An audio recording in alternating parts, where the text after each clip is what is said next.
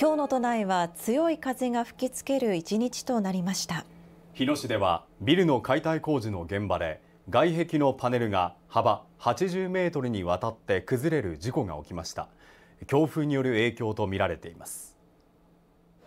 えー、こちら豊田駅の北口なんですが、えー、このように白い壁が大きく崩れてしまっています。警察や消防によりますと今日午後1時過ぎ日野市玉平にあるスーパーの解体工事の現場で地上11メートルほどの高さに設置されていた防音壁が幅80メートルにわたって崩れ横1.5メートル縦80センチのパネルが複数枚落下しました。なんかゴーッと音がして女の人があーとかいうか後ろ振り向いたらうわっと半分ぐらい落ちてきたのかな。ゴーッとまた音がしてバラバラバラと全部落ちてきてで何枚か下にあの板落ちたと思いますよ。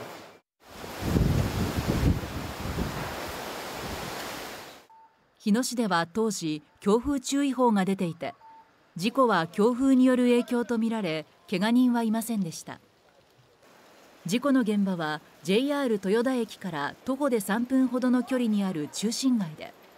通学路も近いことから保護者から心配する声が聞こえてきました。風が強かったとはやっぱりびっくりしてしまったので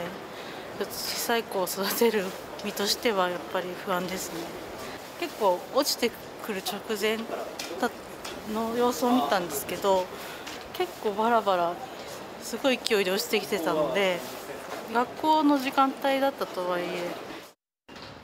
現場ではパネルの撤去作業が行われ警察が当時の状況を詳しく調べています。都内では現在も強い風が続いていて明日にかけて強風や高波に注意が必要です。気象予報士敷波さんに詳しく伝えてもらいます。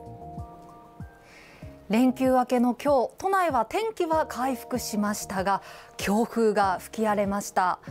えー、午後7時までの最大瞬間風速見ていきますと都心では20.2メートルと今年最も強い風で、えー、これは風に向かって歩けなくなったり人が転倒してしまうほどの風です。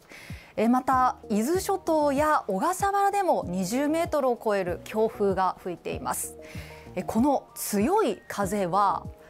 昨日雨や山では雪をもたらした低気圧が関東沖で発達したためもたらされました。この等圧線の間隔狭くなっているのがわかります。明日にかけてはこの低気圧離れつつ線が増えていきます。さらに発達。等圧線の間隔より狭まって今日と同じぐらいか今日よりも強い風が吹きそうです。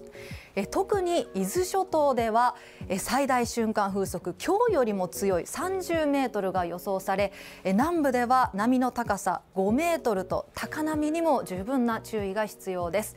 明日は各地で物が飛んできたり交通への影響も出たりする恐れがあります。ご注意ください。